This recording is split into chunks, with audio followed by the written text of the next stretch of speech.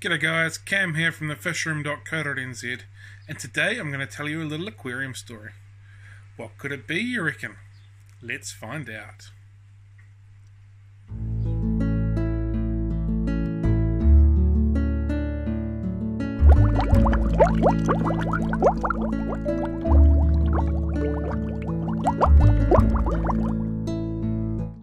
So once upon a time in an aquarium that I own, I had a royal whiptail that was sucking on the slime coat of one of my parrotfish.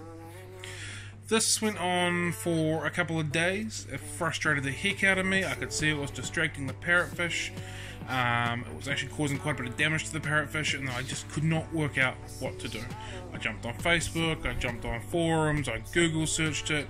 I had a bit of useful results. Um, I was feeding all sorts.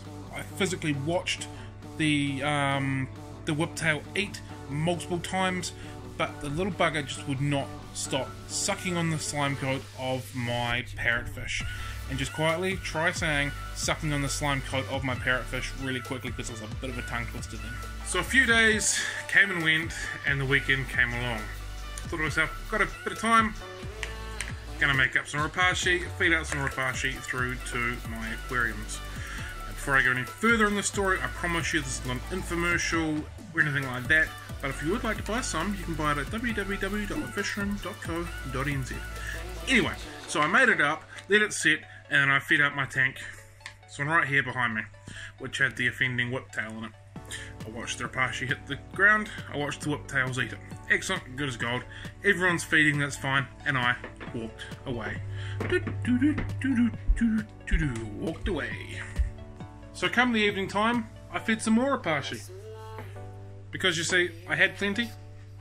Because I make plenty because I've got a lot of fish to feed. So I walked through like normal. And I just fed my Repashy out like normal. And the fish did exactly what they're doing now. Chomp, chomp, chomp, chomp, chomp. So come the next day, I fed some more Repashy. Again, I have plenty. I make up a good sized batch of it. Normally gets me through three or four days. No dramas. So I feed it again in the morning.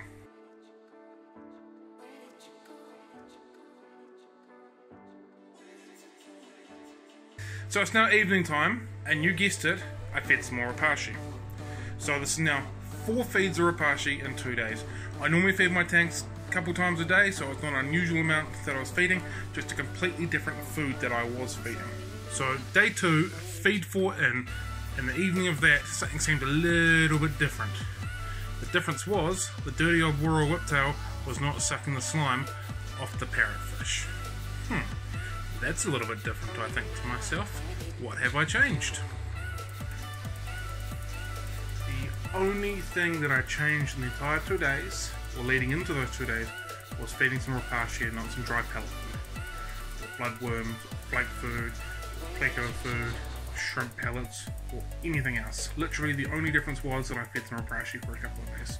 So I fed it out for another couple of days, got rid of it all, and over that four day period, the whiptail did not touch a single parrotfish in that time. So after a couple more feeds of the Repashy, the royal whiptail completely stopped sucking back on the uh, parrotfish altogether.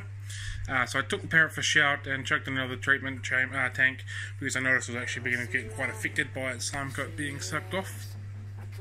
Um, put them back in and then all of a sudden nothing at all. So I'm making sure that I feed Repashy relatively regularly to try and help uh, my basically my parrotfish not being um, sucked to death by the royal whiptail. So if you, like me, have had trouble with your whiptails or even other plecos sucking the slime coat off your fish, I'd highly recommend giving a go at having some of the Repashy into their diet. It's definitely helped me, and this is coming from 100% my own personal experience. So if it's going to help me, there's a good chance it could help you as well. Not going to say it's going to, but that's from the conclusion that I've drawn is that the Repashy absolutely helps my whiptail stop eating the coat off my parrotfish. Right, that draws us to the end. I hope you enjoyed it and please take note of, of what I've said. Have a good one, happy fish keeping and catch you later.